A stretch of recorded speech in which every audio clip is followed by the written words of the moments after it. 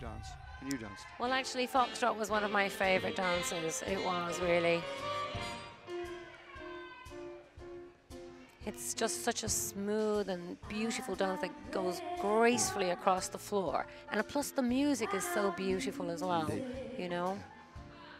And, uh, here we have uh, Stanislav and Natalia. Yes. Natalia. Very nice. You can see how smooth that is. It's all about the timing. They've got to have that harmony of timing, but yet at the same time, their own individual balance. If they're relying on each other for balance, it can be off time then, and then the balance goes. And here in the green, Lukash and Alexandra. Hmm. You commented on that dress as she walked on the floor. Beautiful. It is, it's a beautiful colour. It's got a lovely cut on it, and the skirt's got a beautiful flow. I mean, this couple's beautiful, tall couple, elegant in that, you know?